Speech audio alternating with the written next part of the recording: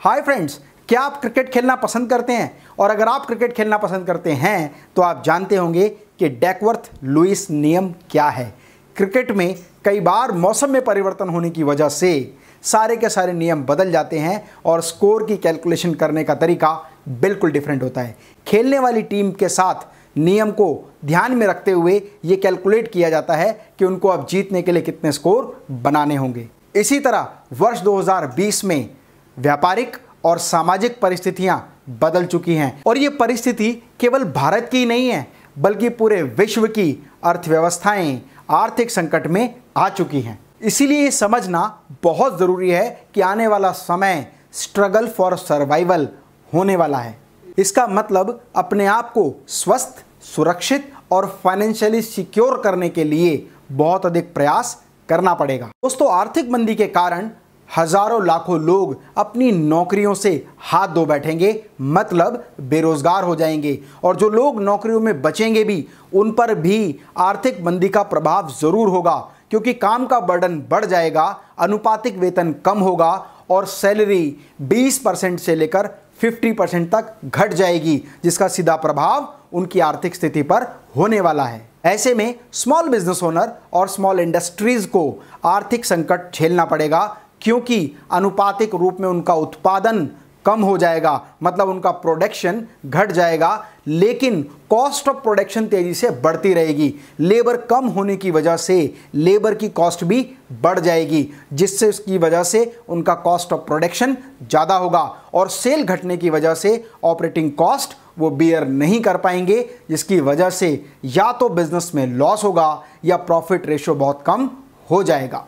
जैसे कि raw material मुश्किल से मिलने के साथ साथ महँगा मिलेगा और महँगा मिलने की वजह से कॉस्ट ऑफ़ प्रोडक्शन ज़्यादा होगी और कॉस्ट ऑफ़ प्रोडक्शन ज़्यादा होने की वजह से रेशियो ऑफ़ प्रॉफिट घट जाएगा। And the next labour cost अनेक औद्योगिक राज्यों से स्किल्ड और अनस्किल्ड लेबर का पलायन हो जाने के कारण लेबर बहुत मुश्किल से मिलेगी और न केवल मुश्किल से मिलेगी, बल्कि जो लेबर मिलेगी भी, वो अनुपातिक रूप में महँगी होगी, जिसकी वजह से कॉस्ट ऑफ़ प्रोडक्शन बढ़ेगी। Lack of liquidity working capital and cash flow in business कम होने के कारण सेल्स कम प्रोडक्शन कम कॉस्ट फिक्स्ड प्लस वेरिएबल बढ़ जाने के कारण प्रॉफिट कम होगा और प्रॉफिट कम होने के साथ साथ मार्केट से पैसा रिकवर करना भी मुश्किल होगा।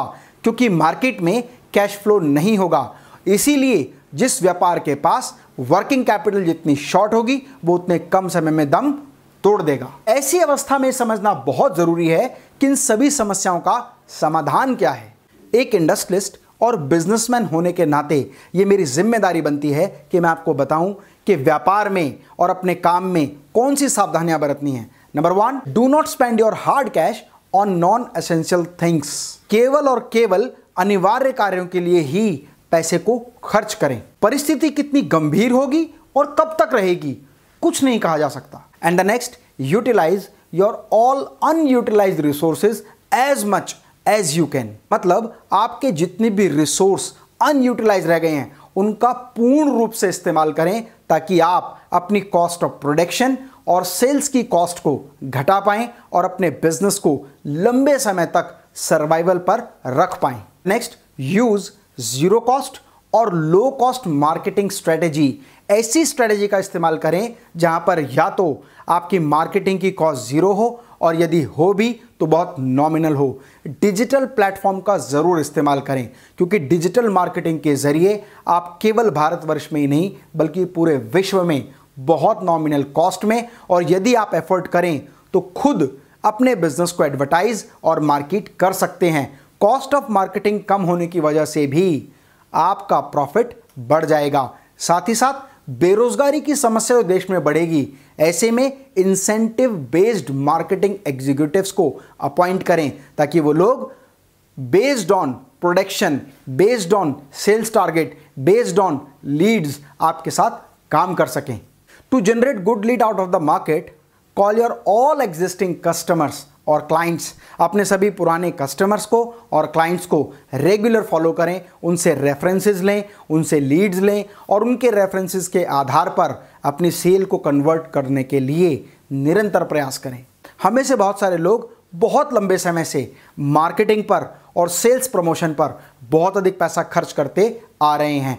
उस समय में आपने जितनी भी लीड्स जनरेट की थी। जितना भी डेटा आपके पास था, उस डेटा को रीयूज़ करें, उन पर कॉलिंग करें बल्क एसएमएस करें बल्क मेल करें, उनसे बातचीत करें और उस अनयूटिलाइज डेटा में से बहुत अधिक सेल ग्रैप करने का निरंतर प्रयास करें। Small scale industry and small business owner को इन पाँच नियमों का अनुकरण अपने बिज़नेस में निरंतर करना चाहिए और जो परिस्थिति इस समय चल रही है, इसमें अपने आप को सुरक्षित रखने के लिए, अपने कैश को होल्ड रखें और अपने व्यापार को निरंतर प्रोग्रेस की ओर लेकर जाएँ।